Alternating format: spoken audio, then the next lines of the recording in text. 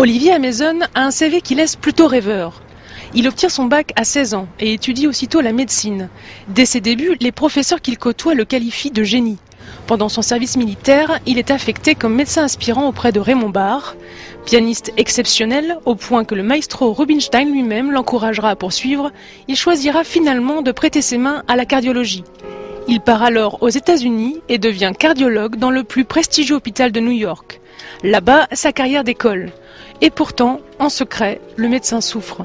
Depuis l'enfance, il se sent esclave d'une terrible anxiété qui le dévore mentalement et physiquement.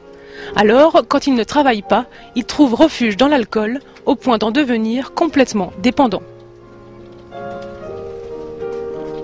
Je buvais par cuite. Ça commençait, ça durait jusqu'à ce que ça s'arrête, jusqu'à ce que je n'en puisse plus. C'était parfois 5 jours, parfois 10, parfois 12. Ça se terminait en catastrophe euh, aux urgences, dans des euh, situations tout à fait désastreuses. Et j'arrêtais et je tenais X nombre de jours, le maximum peut-être 3 mois, euh, une fois 105 jours, je m'en souviens, en m'accrochant au rideau et je refusais toujours.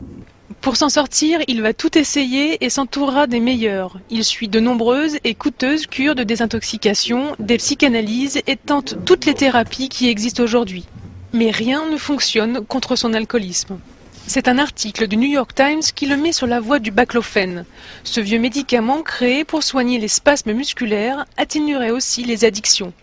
Il va alors consacrer tout son temps à consulter sur Internet chaque publication scientifique sur le sujet, notamment les tests réalisés sur des rats. Dans tous les résumés d'articles, il était écrit que l'effet dépend de la dose, était dose dépendant. C'est-à-dire à faible dose, le rat continuait de consommer, quelle que soit la drogue, et à une dose seuil, le rat s'arrêtait net et ne, reprenait plus. Là, je me suis dit, peut-on transposer cela à l'homme?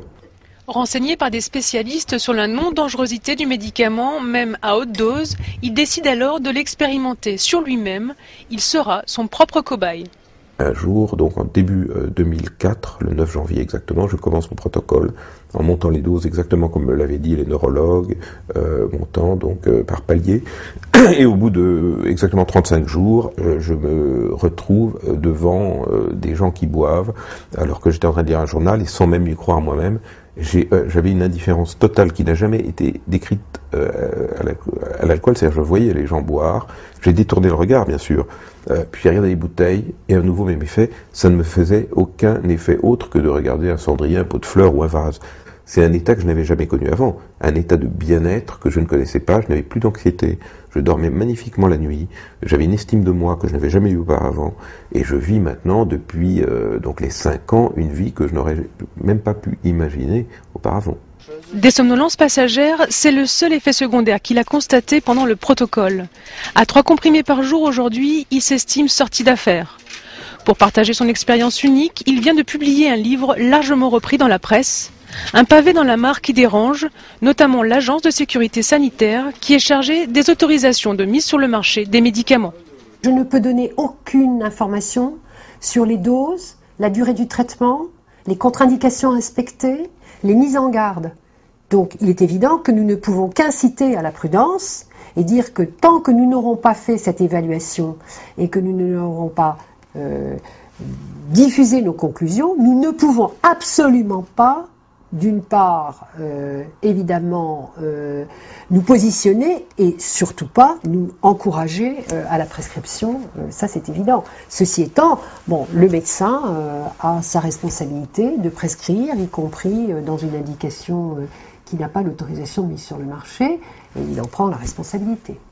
Si les médecins s'accordent à dire qu'ils sont favorables à des essais thérapeutiques, ils restent majoritairement opposés à l'utilisation du baclofène dans le cadre de sevrage alcoolique.